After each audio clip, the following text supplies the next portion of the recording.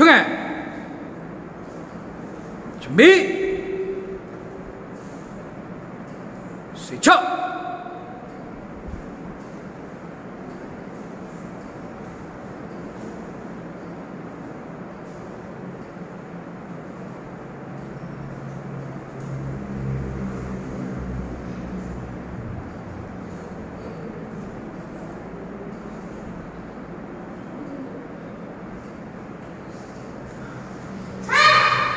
마. 셔, 재료, 청해